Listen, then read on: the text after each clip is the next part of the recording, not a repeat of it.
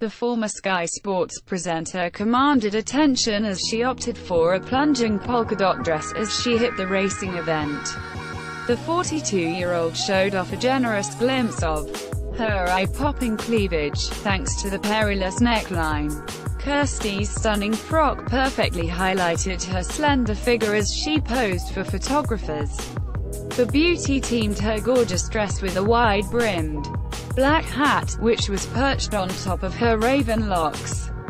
The TV favorite completed her Royal Ascot 2018 look with a pair of black high heels and a matching clutch bag. Kirsty enhanced her natural beauty with plenty of bronzer, dark eyeshadow and a pink lip.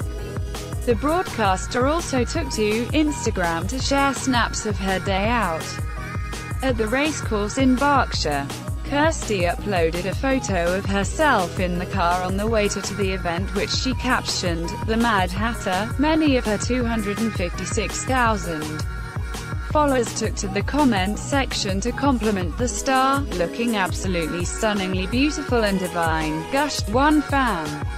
Another said, you look gorgeous girl.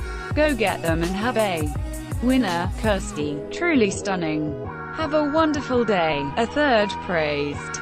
Kirsty was just one of the host of famous faces who descended on day two of Royal Ascot 2018 this afternoon. Declan Donnelly also attended the event with his pregnant wife, Ali Astall.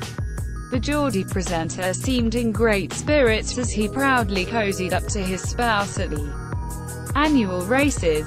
Dec 42 opted for a three-piece grey suit, which he completed with a navy blue tie and black shoes.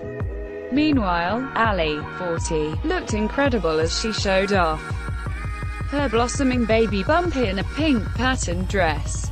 The couple, who tied the knot in 2015, revealed last month that they would be welcoming their first child together in September. Dec first announced back in March that Ali was pregnant by posting a sweet photo on the official Ant and Dec Instagram account, accompanying a throwback photo of the two of them from their wedding day. Dec wrote, Just wanted to say thank you for all the lovely messages. The news has sneaked out a little earlier than we had hoped, but Ali and I are delighted to be expecting our F